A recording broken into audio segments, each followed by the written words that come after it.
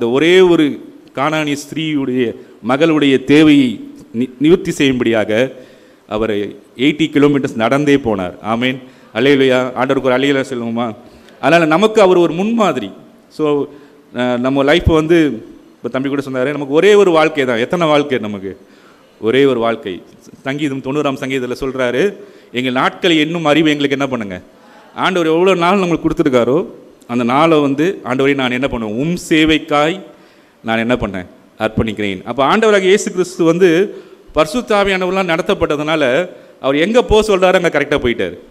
போனனால இந்த கானானிய ஸ்ரீயுடைய மகளுக்கு சுகம் கிடைத்தது. ஆனால் நம்ம லைஃப்லேயும் ஆண்டவராக இயேசு கிறிஸ்து தான் ஒரு நல்ல முன் முன்மாதிரி.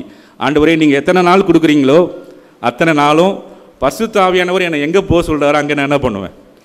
போயிடுவேன் அலையிலுயா எத்தனை பேர் அப்படி செய்வேன்னு சொல்கிறீங்க நம்ம பெருசாக நம்ம செய்யணுன்ற அவசியம் இல்லை. எங்கே போக சொல்கிறாரோ ஃபாதர் பெக்மென்ஸ் அழகாக பாடுறாங்க. எங்கு செல்ல வேண்டும் என்ன செய்ய வேண்டும் கற்றுத்தாரும் ஆவியானவர். ஆவியானவர் சொல்லுவார் இப்போ இன்றைக்கி ஆராதனைக்கு போ இன்னைக்கு இங்கே போ இன்னைக்கு அந்த ஒருத்தங்க அந்த சகோதரி சோர்ந்து இருக்காங்க. அவங்க போய் என்னன்னு கேளு. அப்படி நடந்திருக்கா உங்களுக்கு?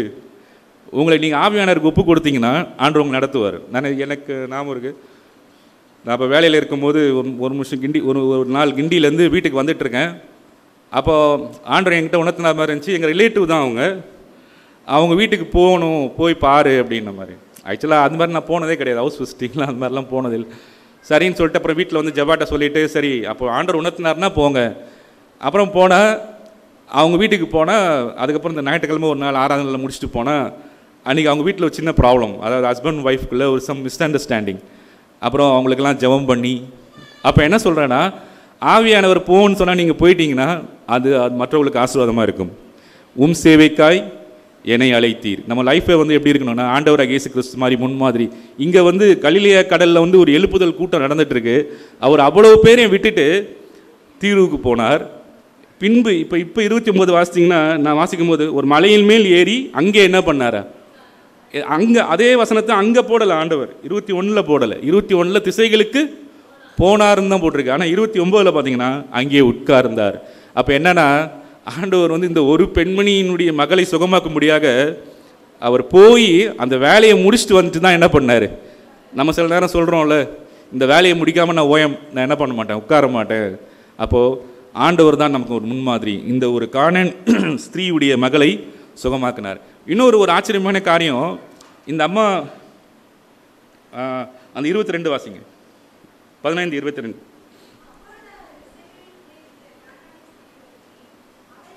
ஆ போதும். இதில் இங்கே என்ன போட்டிருப்பாருங்க இஸ்ரேவேல் தேசத்தை சார்ந்தவளாவா? இந்த நீங்கள் மேப்பில் பார்த்தீங்க தீர்வுக்கு பார்த்தீங்கன்னா அந்த இஸ்ரேல் பவுண்ட்ரி முடிஞ்சிருது. அவுட் சைட் ஆஃப் இஸ்ரேல் தான் தீர்வு இருக்குது தீரு சீதோன் இருக்கு. அப்போது இந்த அம்மா வந்து இஸ்ரேவேல் தேசத்து ஆள் கூட கிடையாது. இந்த அம்மா யார்? புறஜாதி. இந்த அம்மா வந்து ஒரு புறஜாதி.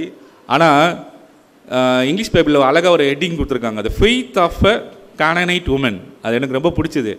ஒரு கானானிய ஸ்திரீயுடைய விசுவாசம். ஆண்டவர் அவ- அவளுடைய விசுவாசத்தை பற்றி என்ன சொன்னார்?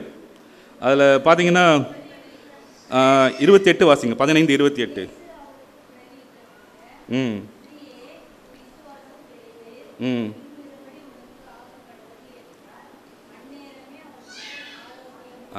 இந்த காணானிய ஸ்திரீக்காக ஒரு கைதட்டு கொடுப்போமா? எனக்கு என்ன சேலஞ்சிங்னா அவர் தமக்கு சொந்தமானதில் வந்தார். அவங்க அவங்கள என்ன பண்ணலை?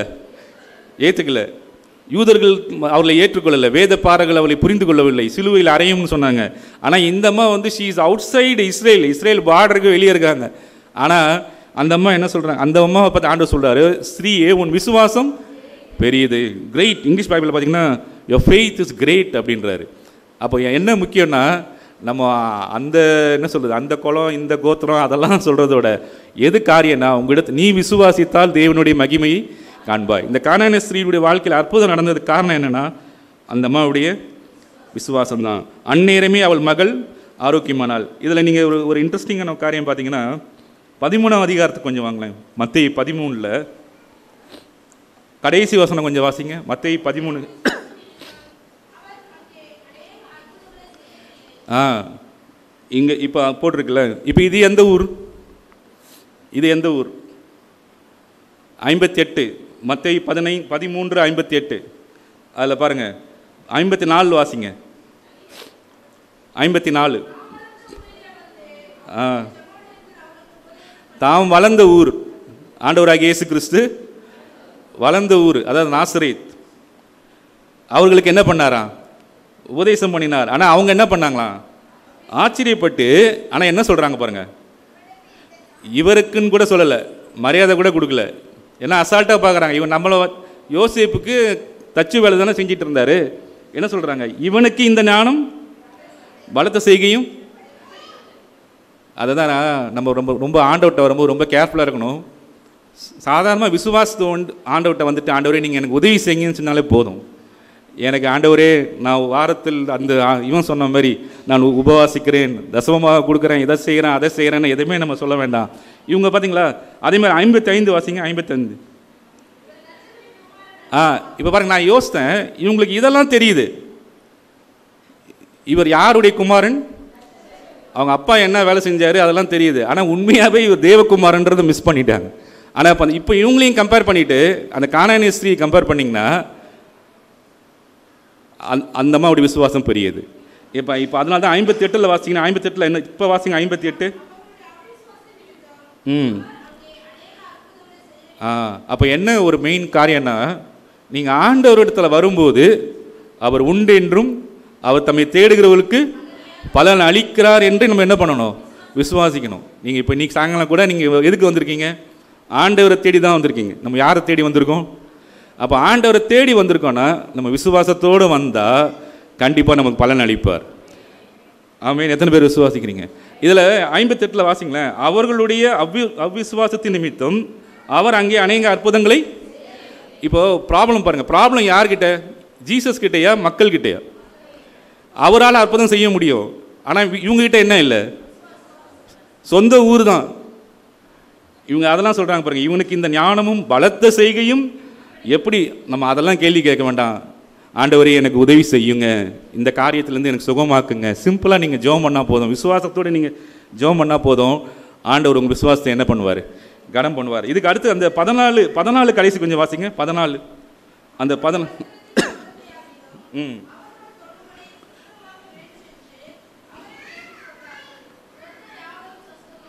அதுக்கு முன்னாடி வசனம் வாசிங்க.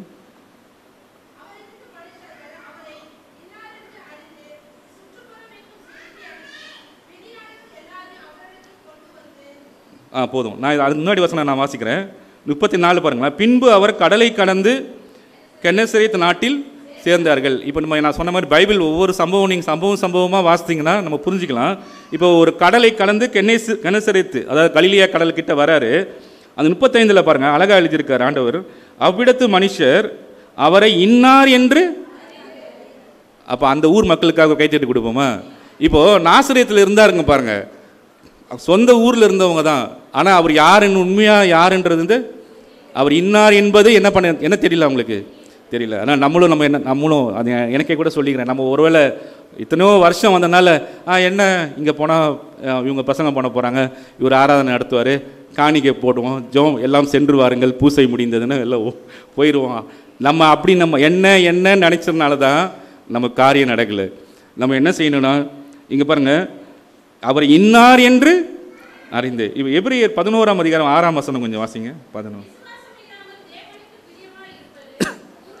ஆ இது இதை நம்ம நல்லா யோசிச்சுக்கணும். தேவனுக்கு நீங்கள் பிரியமாக இருக்கணும்னா எது கண்டிப்பாக தேவை?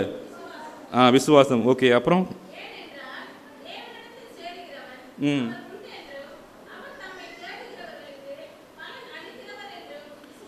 ஆமாம் ஸோ இங்கே நான் அந்த மூணாவது ஸ்டேட்மெண்ட் தான் இன்றைக்கி ரொம்ப ஹைலைட் பண்ண விரும்புகிறேன் அவர் தம்மை தேடுகிறவர்களுக்கு பலன் அளிக்கிறவர் என்று நீங்கள் பைபிளில் நீங்கள் யோசித்து பாருங்கள் உண்மையாக ஆண்டவரை தேடி வந்தவங்களுக்கு கண்டிப்பாக அவர் பலன் கொடுத்து தான் செஞ்சார்.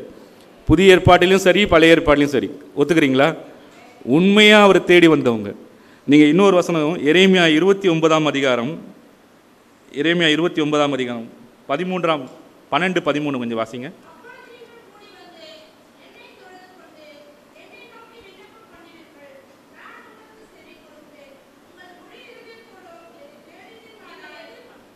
ஆ கரெக்ட் கரெக்ட் அதுதான். அக்கா கரெக்ட் அந்த இறைமையா இருபத்தி ஒம்பது பதிமூணில் உங்கள் முழு முழு இருதயத்தோடும் என்னை தேடினீர்களானால் என்னை தேடுகையில் நான் அது யோசித்தேன். இந்த ஒவ்வொரு அதிகாரத்தையும் அப்படியே யோசித்தேன். அந்த மத்தியில் பதிமூணாம் அதிகாரத்தில் சொந்த ஊர் தான். ஏசு கிறிஸ்து எந்த ஊரில் பிறந்து வளர்ந்தாரோ அந்த ஊர்லேயே இருந்தவங்க தான். ஆனால் அவங்க அற்புதங்களை என்ன பண்ண முடியல? பெற்றுக்கொள்ள முடியல. பிகாஸ் நோ ஃபெய்த் ஆனால் இவங்க பார்த்தீங்கன்னா அதுக்கு அடுத்து கென்னசிரியத்தில் பார்த்தீங்கன்னா முப்பத்தி ஆறில் அவருடைய வஸ்திரத்தின் ஓரத்தை ஆகிலும் அவளை தொடும்படி நான் யோசித்தேன். நான் இப்போ எலக்ட்ரானிக் ஸ்டூடெண்ட்னால சொல்கிறேன் இன்றைக்கி தான் நமக்கு அந்த டச் டெக்னாலஜி வந்திருக்கு. அவங்க அன்றைக்கே அந்த டச் டெக்னாலஜி கண்டுபிடிச்சிட்டாங்க. இன்றைக்கி தான் இப்போ ஆண்ட்ராய்ட் ஃபோனில் முன்னாடிலாம் பட்டன் ப்ரெஸ் பண்ணணும். கம்ப்யூட்டரில் கீஸை கீ பண்ணணும். இப்போ டச் டெக்னாலஜி இருக்குல்ல இப்போ. இன்றைக்கி எல்லாம் ஏடிஎம்மில் கூட டச்சு நான் யோசித்தேன். அவ- இவங்க அன்றைக்கே வந்து டச் டெக்னாலஜி கண்டுபிடிச்சிட்டாங்க. இவங்க என்ன சொல்கிறாங்க பாருங்கள் அவருடைய வஸ்திரத்தின் ஓரத்தை ஆகிலும் தொட்டால் நாங்கள் என்ன பண்ணுவோம்? வேண்டிக் கொண்டார்கள் தொட்ட யாவரும்?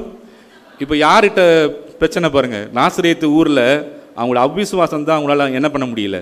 அப்போ இவங்க என்ன சொன்னாங்கன்னா அவருடைய வஸ்திரத்தின் பாருங்க ஓரம் தான். வஸ்திரத்தை கூட முழுசாக அவர் பாதத்தை கூட உளுந்து கட்டி கூட பிடிக்கல என்னும் செய்யல. வஸ்திரத்தின் ஓரத்தை தொட்டாலே வல்லமை தான். நான் இன்னைக்கு கூட யோசித்தேன் நம்ம ஜோம் பண்ணோம் ஆண்டவரே எங்கள் இந்தியாவில் இந்த என்ன சொல்ல இந்த கரோனா வைரஸ் பாதிப்பே வரக்கூடாது. எத்தனை பேர் ஜெபம் பண்ணுறீங்க நாங்கள் வந்து உங்கள் வஸ்திரத்தின் ஓரத்தை நாங்கள் என்ன பண்ணுறோம் ஆக்சுவலி நீங்கள் யோசிச்சிங்கன்னா இப்போ சைனாலெல்லாம் காமிச்சாங்க. இவ்வளோ அவங்களாம் வந்து ஓரளவுக்கு க்ளீனாக இருக்காங்க. நம்ம இந்தியாவில் வந்து அந்த அளவுக்கு சுகாதாரமே கிடையாது. எங்கேயோ ஒரு சாக்கடை ஓடுது அந்த பக்கம் ஒரு இருபது முப்பது குடிசை இருக்குது ஒரு ஆள் தும்முனார்னா இப்போது இப்போ நான் இங்கே தும்முனா இங்கே இருக்காங்க எல்லாருக்குமே போயிடும் புரிஞ்சுங்களா அப்போ நம்ம பாருங்கள் நமக்கு இந்திய தேசத்துக்காக நம்ம தான் ஜோம் பண்ணோம். இந்த வசனம் வாசிக்கும் போது யோசித்தேன். ஆண்டவரே அவங்கெல்லாம் வஸ்திரத்தின் ஓரத்தை தொட்டாங்களே என்ன ஆயிடுச்சு சுகமாயிடுச்சு. ஆனால் நீ பயங்கரமான சுகம் அளிக்கிறவர் இந்த வியாதி வந்து பரவக்கூடாது. ஆமீன். ஏன்னா பரவிச்சுன்னா ரொம்ப ரிஸ்க்கு. புரியுதுங்களா? நான் அந்த மார்க்கெட்டு வாங்கும் போது பார்த்தா ஒரு பத்து ரூபாய்க்கு காய் போடுப்பான்னு சொல்லி எல்லாரும் காலையில் வருவாங்க. உடனே அவர் உள்ளே கத்துவார். ஏம்மா நீ இப்போ வராத. ஒரு மணிக்கு வா. இவங்க எங்கே மாஸ்க்கு எல்லாம் போட்டுட்டு போக முடியுமா? நம்ம ஊரால் முடியுமா? சொல்லுங்கள் மாஸ்க்கு அந்த சானிடைசர் அதெல்லாம் மா போட முடியுமா? முடியாது. நம்ம என்ன ஜோம் பண்ணுவோம்? ஆண்டவரே எங்கள் தேசத்துக்குள்ளே இந்த கொரோனா வைரஸ் என்ன பண்ணக்கூடாது? பரவக்கூடாது. நாங்கள் உங்கள் வஸ்திரத்தின் ஓரத்தை அதாவது அவங்களுக்காக நீங்கள் ஜோம் நம்ம ஜெபம் பண்ணலாம். நம்ம தேசத்துக்காக நம்ம ஜோம் பண்ணால் கேட்பாரா? கேட்க மாட்டாரா?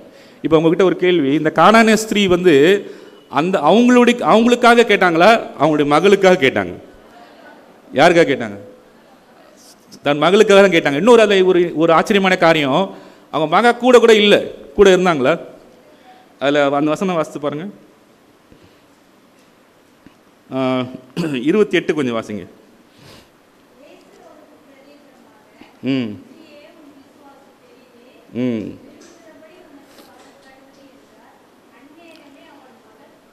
ஆரோக்கியமானால். இப்போது இந்த அம்மா வந்து யாருக்காக தான் ஜெபம் பண்ணாங்க? தன்னுடைய மகளுக்காக. அப்போ நம்மளும் வந்து நம்முடைய தேசத்துக்காக ஜெபம் பண்ணால் ஆண்டவர் கேட்பார். அதே மாதிரி அந்த மகள் வந்து அந்த அந்த நேரத்தில் கூட கூட இல்லை. அந்நேரமே அவள் மகள் என்ன பண்ணாள்? நீங்கள் இதே சம்பவம் வந்து மார்க்கில் கூட இருக்குது நீங்கள் மார்க்கில் கூட வாசிங்கன்னா இருக்கும். மார்க் ஒன்பது இருபது சாரி மத்தை மார்க் ஏழாம் அதிகாரம் முப்பதாம் வசனம் கொஞ்சம் வாசிங்க. மார்க் ஏழாம் அதிகாரம். மார்க் ஏழாம் அதிகாரம் ஆ,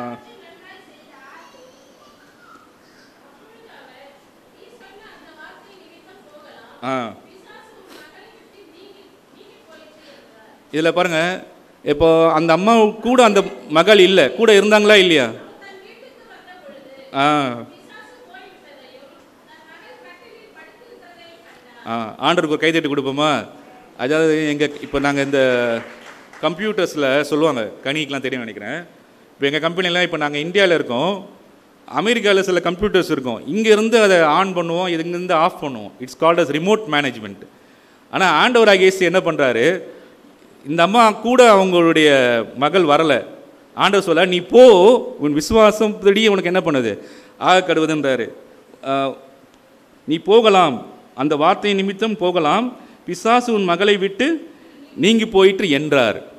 அவர் சொல்ல ஆகும்.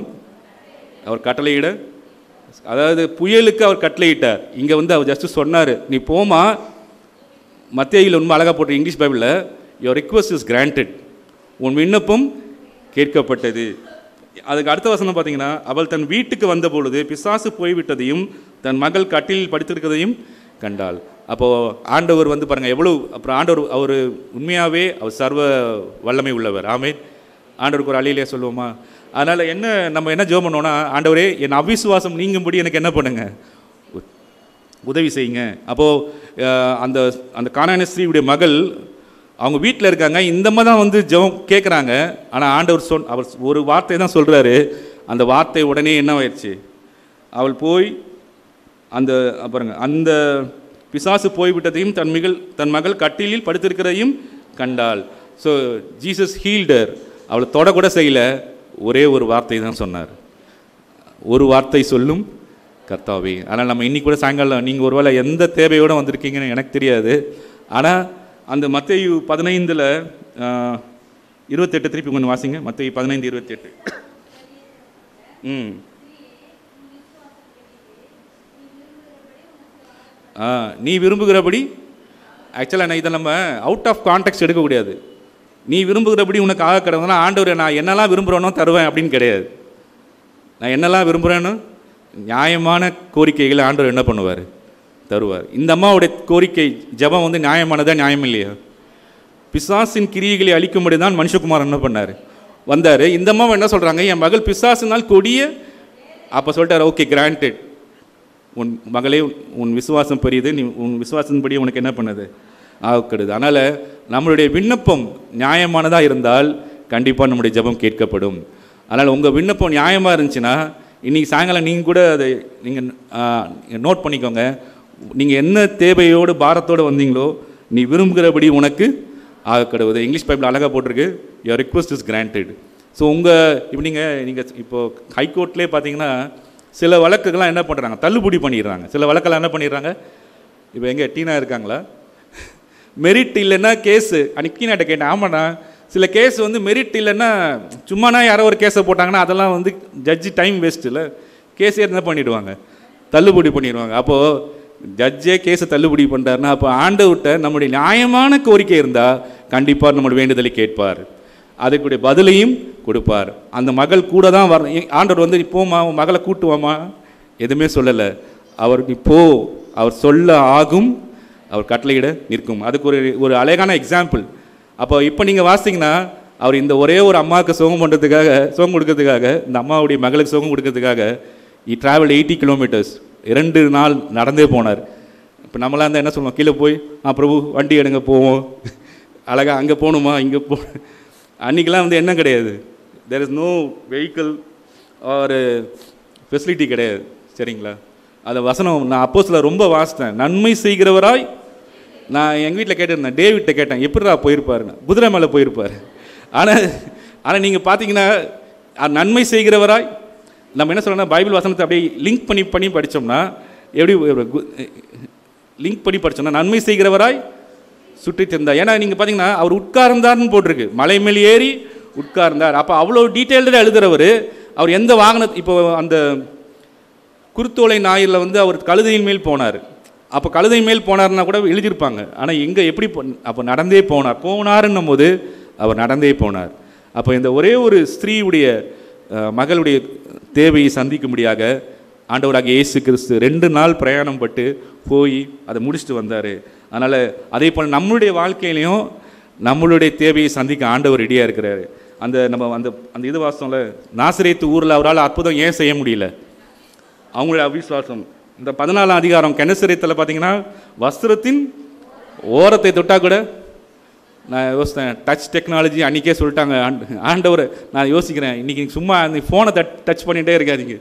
நம்ம பிள்ளைங்க இன்றைக்கி ஃபோனை தான் டச் பண்ணிட்டே ஃபோனை டச் பண்ணாங்க ஆண்டவரை டச் பண்ணுவோம். ஆண்டவரை டச் பண்ண டச் பண்ண நமக்குள்ளே பவர் அதிகமாக வரும். அவரை நோக்கி பார்த்த யாவரும் இப்போ நீங்கள் இங்கே வந்தது கூட நீங்கள் சொன்னால் என்ன எதுக்கு போகிறீங்க சும்மா போகிற சினிமா சினிமா தேட்டருக்கு போனால் சும்மா நம்ம ஏதோ கொஞ்ச நேரம் மூணு மணி நேரம் பார்த்துட்டு வெளியே வந்துட போகிறோம் இங்கே வந்தால் நான் ஆண்டவரை தொட போகிறேன். நீங்கள் சொல்லணும் நான் நான் யாரை டச் பண்ண போகிறேன் ஆண்டவரை தொட போகிறேன். அவரை தொட்டிங்கன்னா கண்டிப்பாக உங்களுடைய நோய்களும் குணமாகும். நீங்கள் மற்றவங்களுக்கு என்னவா மாறிடுவீங்க? ஆசீர்வாதமாக மாறிடுவீங்க. அடுத்ததாக இந்த- இந்த அம்மாவுடைய ஜெபம் பாருங்கள் இந்த அம்மா வந்து அவ்வளவு பெருசாக எதுவுமே ஜெபம் பண்ணல. பெரிய ஜெபம் பண்ணாங்களா? இருபத்தி ரெண்டு கொஞ்சம் வாசிங்க. இருபத்தி ம்.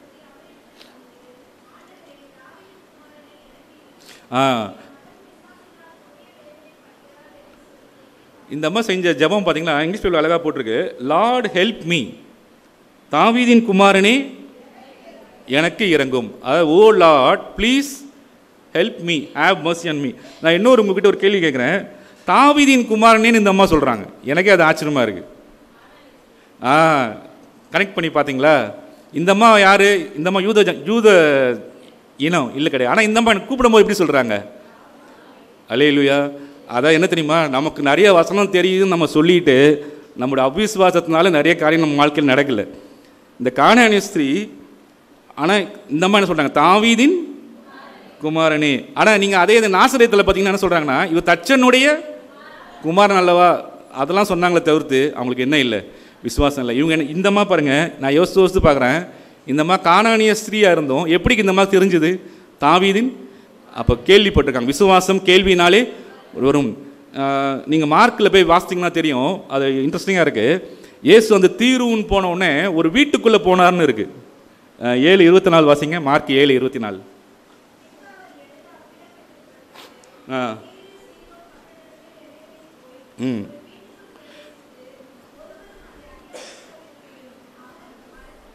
ஆ இப்போ நீங்கள் அதான் பைபிளில் ஒரே சம்பவத்தை நீங்கள் மற்ற இதில் கம்பேர் பண்ணி படிச்சீங்கன்னா மார்க்கில் என்ன போட்டிருக்குன்னா தீருவில் போயிட்டு இங்கிலீஷ் பைபிளில் போட்டிருக்கு என்டர்ட் ஹோம் யாருக்கும் தெரியக்கூடாதுன்னு நினைக்கிறாரு.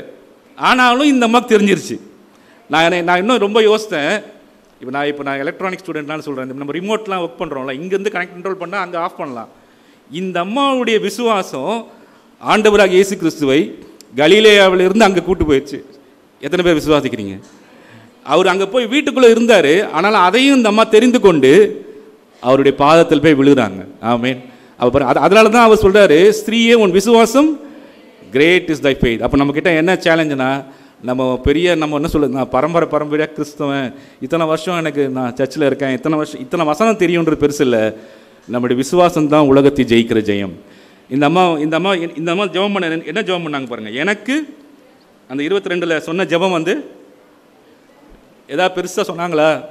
அவங்களுடைய பட் நான் வந்து இவ்வளோ படிச்சிருக்கேன் எனக்கு இவ்வளோ சொத்து இருக்குது சுகம் இருக்குது இந்த இதை மட்டும் ஹெல்ப் பண்ணுங்க அப்படின்னு சொல்ல எனக்கு இறங்கும். அதுக்கு அடுத்தது இன்னொன்று வாசித்தீங்கன்னா இருபத்தஞ்சு கொஞ்சம் வாசிங்க.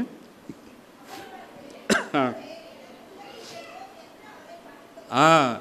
இன்னொன்று என்ன செய்கிறாங்க முதல்ல என்ன சொல்கிறாங்க லார்ட் ஹெல்ப் மீ ரெண்டாவது வந்து எங்களுக்கு உதவி செய்யும். அதான் முதல்ல வந்து எங்களுக்கு yeah have mercy on me ரெண்டாவது வந்து ஹெல்ப் மீ முதல்ல வந்து எனக்கு இறங்கும். ரெண்டாவது வந்து எனக்கு உதவி செய்யும். ஆமென். இந்த இந்த ஜபம் ரொம்ப சிம்பிள் தானே? இதை நம்ம எல்லாரும் செய்யலாமா? அதனால் நம்ம நமக்கு என்ன தேவையோ நம்ம நிறைய யோசிக்க வேணாம். ஆண்டவரே எனக்கு இறங்கும். எனக்கு உதவி செய்யும். இப்போ இது பாருங்கள் இந்த பிசாசிலிருந்து விடுதலை ஆக்கிறதுக்கு வேறு யாரால முடியுமா? அந்த அம்மாவுக்கு நல்லா தெரிஞ்சிருச்சு. டாக் இவர்னு சொல்லாது ஆண்டவராகிய இயேசு கிறிஸ்துவால் மட்டும்தான் முடியும். அவர் இப்போ நம்ம ஊருக்கு வந்திருக்காரு. இந்த தருணத்தை விட்டால் வேறு தருணமே கிடைக்காது. நன்மை செய்கிறவராய் நம்ம ஊருக்கு வந்திருக்காரு. அந்த மார்க்கில் வீட்டில் போய் வாசித்து பாருங்கள் அவர் வீட்டுக்குள்ளே இருக்கிறாரு. இந்த அம்மா அதை கண்டுபிடிச்சி போயிட்டாங்க. ஏன்னா அந்த அம்மாவுடைய மகளுடைய தேவை. அதை நான் இன்னும் அது வாசிக்கும் போது ஆண்டு எனக்கு உணர்த்தேன் ஒருவேளை உங்களுடைய பிள்ளைகளுடைய தேவைகளுக்காக நீங்கள் ஜெபம் பண்ணாலும் அந்த பாரத்தையும் அவர் கேட்பார். நம்ம ஒன்லி வாட் வாட் இட் மேட்டர்ஸ்னா நம்ம விசுவாசத்தோட ஜெபம் பண்ணோம். அது நம்ம சிம்பிளாக ஜெபம் பண்ணால் போதும். ஆண்டவரே எனக்கு இறங்கும். எனக்கு இப்போ நான் என்ன சொல்லுது நான் இவ்வளோ ஊழியம் செஞ்சுருக்கேன். இவ்வளோ காணிக்கை கொடுத்துருக்கேன். இவ்வளோ தசமமாக கொடுத்துருக்கேன். இத்தனை காலை ஜபம்லாம் வந்திருக்கேன். இத்தனை வந்து அதெல்லாம் நம்ம சொல்ல வேண்டாம். ஆண்டவரே எனக்கு இறங்கும். எனக்கு உதவி செய்யும். இப்போ ஆண்டவர் கேட்டாரா இல்லையா? அந்த இருபத்தி எட்டில் பார்த்தீங்கன்னா நீ விரும்புகிறபடி உனக்கு ஆகக்கூடாது நியூ லிவிங் டிரான்ஸ்லேஷனில் ரொம்ப அழகாக போட்டிருக்கு. You can go your request is granted your request is அப்போ நியாயமான கோரிக்கை நம்ம ஆண்டவர்கிட்ட வந்து எனக்கு இறங்கும் எனக்கு உதவி செய்யும் சொல்லும்போது கண்டிப்பாக அதை கிராண்ட் பண்ணிடுவார். ஐ மீன் அதே மாதிரி இன்னொரு வசனம் பார்த்தீங்கன்னா இதில் இருபத்தி மூணில் பார்த்தீங்கன்னா இருபத்தி மூணில் வாசிங்க இருபத்தி மூணு. மற்ற பதினைந்து இருபத்தி மூணு. ஆ.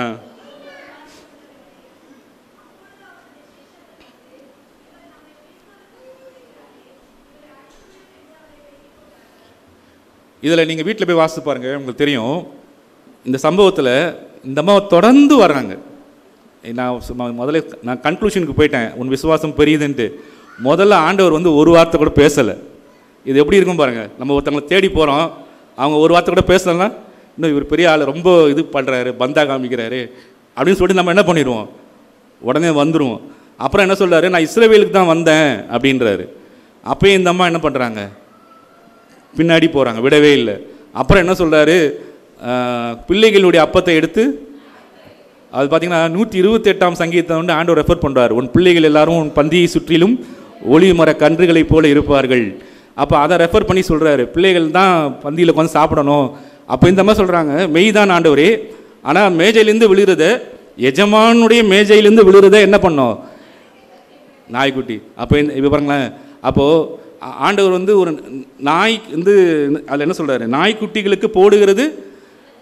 நான் அதை கொஞ்சம் யோசித்தேன். இதே இது நம்ம மெட்ராஸில் நம்மளை யாராவது நாய் அப்படின்னு டக்குனு நம்ம என்ன சொல்லுவோம்.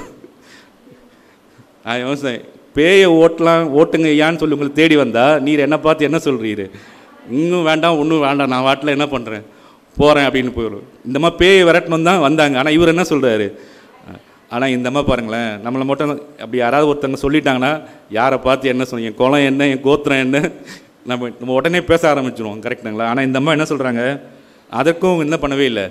மெய்தான் எஜமானின் மேஜையிலிருந்து விழும் துணிக்கைகளை அப்போது நான் எதான் யோசித்த வேத பண்டிதர்கள் என்ன சொல்கிறாங்கன்னா ஆண்டவர் வந்து அந்த அம்மாவுடைய மகளை சுகமாக்கும்படி பிளான் பண்ணி போயிட்டார்.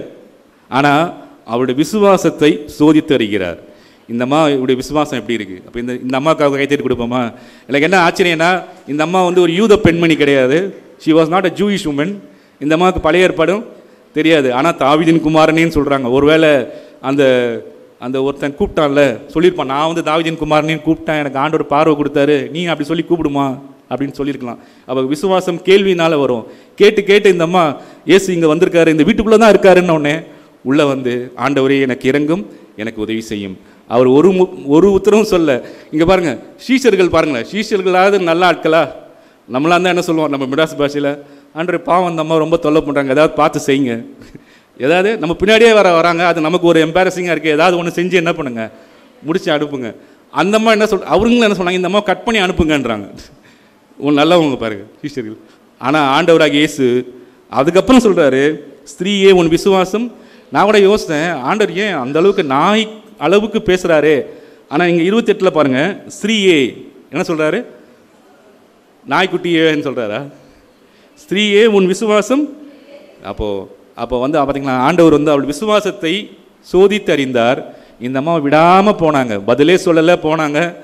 நாய்க்குட்டின்றாரு போனாங்க. இஸ்ரேவேலுக்கு தான் நாங்கள் அப்பயும் போனாங்க. அப்புறம் ஃபைனலாக சொல்லிட்டாரு ஸ்ரீயே உன் விசுவாசம்? பெரியது. ஆமீன். இந்த காணானிய ஸ்ரீக்காக கைத்திட்டு கொடுப்போமா? அப்போ வாட் இட் மேட்டர்ஸ்னா நம்மளுடைய வேண்டுதல் நிறைவேறணும்னா நம்ம ஆண்டவர்கிட்ட அந்த எப்ரியர் பதினொன்று ஆறு தான். அவரை தேடுகிறவர்கள் யாவருக்கும் அவர் என்ன பண்ணுறாரு இந்த அம்மாவுக்கு பலன் கொடுத்தாரா இல்லையா? பலன் கொடுத்தாரு. நீங்கள் நம்ம ஒரே வசனத்தை வாசித்து முடித்துருவோம்.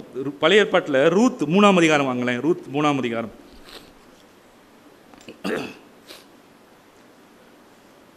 ஒன்பதாம் வசனம் கொஞ்சம் வாசிங்க. பழைய பாட்டிலே ரூத் முந்நூற்றி முப்பத்தி ஏழாம் பக்கம்.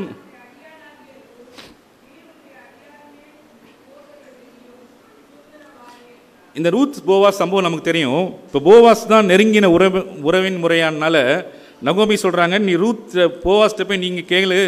நீ தான் எனக்கு நீங்கள் தான் எனக்கு கல்யாணம் பண்ணிக்கணும் நெக்ஸ்ட்டு அப்படின்னு. அப்போ அந்த மாதிரி சொல்கிறாங்க நீ சுதந்திரவாளி. அப்போது ஆனால் அந்த பதினேழாம் பதிமூன்றாம் வசனம் கொஞ்சம் வாசிங்க பதிமூன்று. மூன்று பதிமூணு. ரூத் மூன்று பதிமூணு. ம்.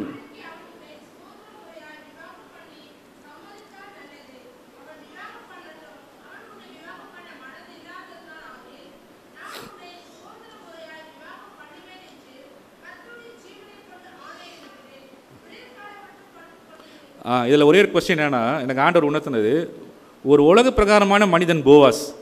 அவர்கிட்ட அவ- அவர்கிட்ட வந்து ரூத் ஒரு ஒரு கோரிக்கை வைக்கிறார். அதை இந்த இந்த விஷயத்தில் வந்து திருமண காரியனால் நீங்கள் தான் என்ன நீங்கள் என்ன பண்ணணும் நெக்ஸ்ட் கல்யாணம் பண்ணிக்கணும் அப்படின்னு சொல்லும்போது அவர் என்ன சொல்கிறாரு நான் உன்னை சுதந்திர முறையாய் விவாகம் பண்ணுவேன் என்று கத்தருடைய ஜீவனை கொண்டு சொன்னபடி செஞ்சாரா இல்லையா? செய்தார். அப்போ ஒரு உலக பிரகாரம் மனிதனை தேடி போனாலே ரூத் போனால் அவளுக்கு ஒரு நிறைவான பலன் கிடைச்சது. அப்போ நம்ம ஆண்டவரை தேடி வந்தால் கண்டிப்பாக நமக்கு பலன் கிடைக்கும். கிடைக்குமா கிடைக்காதா? எத்தனை பேர் விசுவாசிக்கிறீங்க? போவாஸ் கிட்ட போன ரூத்துக்கே கிடைச்சது. பாருங்க.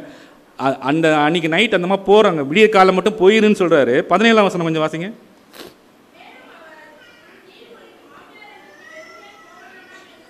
ம். அது அது அண்டர்லைன் பண்ணிக்கோங்க. நீ உன் மாமியார் அண்டைக்கு வெறுமையாய் நீ இன்னைக்கு எனக்கு என்கிட்ட ஒரு ஒரு கோரிக்கையோடு வந்த. சரி நான் நாளைக்கு நான் அதை பார்க்குறேன். ஆனால் இன்னைக்கு நீ போகிறது நீ வெறுங்கையாக போக வேண்டாம். இப்போ உலக பிரகாரமான ஒரு மனிதன் போவாஸே வந்து ரூத்துக்கு என்ன சொல்ல நான் வெறுங்கையாக உன்னை அனுப்ப மாட்டேன். அப்போ நம்ம ஆண்டவர் வெறுங்கையாக அனுப்புவாரா? எனக்கு அதுதான் ஒரு பெரிய சேலஞ்ச் அப்போ நீங்கள் ஆண்டவர் சமூகத்தில் வந்த உங்களை கண்டிப்பாக வெறுமையை அனுப்பவே மாட்டார். நம்மளுடைய ஆவிக்குரிய தேவை என்னன்னு தெரியும் அவருக்கு. நம்முடைய பொருளாதார தேவை நம்முடைய சரீர தேவை கண்டிப்பாக நம்மளை வெறுமையை அனுப்பவே மாட்டார். இல்லை ஆண்டவருக்கு ஒரு அள்ளியிலே சொல்லுவோமா? உலக பிரகாரமான ஒரு மனுஷனே என்ன பண்ணுறார் போவாஸ். நாளைக்கு நான் கல்யாணம் பண்ணிட்டேன்னு சொல்லிட்டாரு கல்யாணம் பண்ணிட்டேன் இந்த அம்மாவுக்கு வயலே சொந்தமாயிரும்.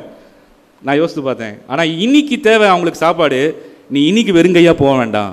ஒரு போவாசுக்கே அந்த கரிசனை இருக்கும்போது நம்முடைய ஆண்டவர் அதை விட பெரியவர். அது அதில் இன்னொன்று பாருங்களேன் எத்தனை படி கோதுமை கொடுத்தாராம்? அப்போ அம்மா அம்மாருங்களாம் யோசித்துக்கோங்க. ஆறு படி கோதுமை வச்சு எத்தனை நாள் சாப்பிடலாம்? சரி ஓகே நிறைய நாள் சாப்பிடலாம். இவங்க இருக்கிற எத்தனை பேர் இருக்காங்க? ரெண்டு பேர் தான். நகோமி ரூத்து. இவங்க கொடுத்தது பாருங்கள் அப்போ ஒரு போவாஸே சும்மா சாம்பிள் கொடுத்தாரு ஆறு படி இன்னைக்கு கூட பாஸ் சொன்ன மாதிரி ஆபரகாமுடைய ஆசீர்வாதங்கள் எண்ணி முடியாது. இப்போ மறுநாள்லேருந்து இந்த அம்மா வந்து போவாஸுடைய வயல் நிலங்களுக்கெல்லாம் சொந்தமாக போகிறாங்க போவாஸுடைய மனைவி ஆகிட்டா ஆட்டோமேட்டிக்காக என்ன ஆயிரும்? வயல் எல்லாமே சொந்தமாயிரும். ஆமீன். அப்போ நம்மளுடைய ஆபிரகாமின் ஆசீர்வாதங்கள் நமக்கும் வரும். எண்ணி முடியாத வருஷம் அந்த பதினெட்டு கொஞ்சம் வாசிங்களேன். பதினெட்டு. மூணு பதினெட்டு. ஆ.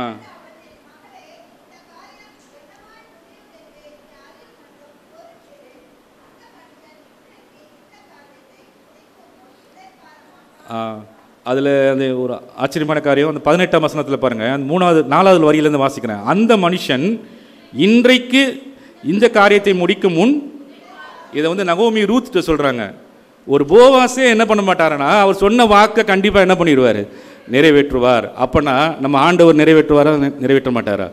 அப்போ நம்மக்கிட்ட ஒன்றே ஒன்று காரியம் அந்த மூணு அதிகாரத்தில் காமிச்ச மாதிரி நாசரியத்து ஊரில் வந்து அற்புதம் அவரால் ஏன் செய்ய முடியலன்னா அவ்விசுவாசம் இவங்க வந் அடுத்த அதிகாரத்தில் வஸ்திரத்தின் ஓரத்தை தொட்டால் கூட போதும். தொட்ட எல்லாருமே சுத்தமாயிட்டாங்க அடுத்த ஊரில் அந்த அம்மா மக நேராக கூட வரல. நீ போமா சுகமாயிட்டான்னு. ரிமோட் மிராக்கிள் எங்கள் ஐடியில் வந்து ரிமோட் மேனேஜ்மெண்ட் சொல்லுவாங்க. அமெரிக்காவில் இருக்க கம்ப்யூட்டரை இங்கேருந்து கண்ட்ரோல் பண்ணுறோம் இப்போது நிலாவில் போகிற ராக்கெட்டை கண்ட்ரோல் பண்ணுறாங்க ரிமோட் வயர்லெஸ் டெக்னாலஜி ஆனால் இவன் ஆண்டவர் நான் நினச்சேன் அவர் ஆள் நேரில் வரணும்னு அவசியம் இல்லை. நீங்கள் இங்கேருந்து ஜெபம் பண்ணாலே அவங்களுக்கு ஆண்டவர் சுகம் கொடுப்பார். எத்தனை பேர் விசுவாசிக்கிறீங்க? அவர் சமீபத்திற்கு மாத்திரம் தெய்வம் அல்ல தூரத்துக்கும் தெய்வமாக இருக்கிறார் அதனால் ஆண்டவர் கண்டிப்பாக அப்படியே செய்வார். நம்ம இந்த பாடலை நம்ம பாடுவோம். நம் பொருட்களால் கத்தரை ஆராதிப்போம். ஒரு வார்த்தை சொல்லும் கர்த்தாவே அந்த பாட்டை நம்ம பாடுவோம். இந்த கானானிய ஸ்திரீக்கு வந்து ஆண்டவர் ஒரே ஒரு வார்த்தை தான் சொன்னார். நீ போகலாம் உன் வேண்டுதல் கேட்கப்பட்டது.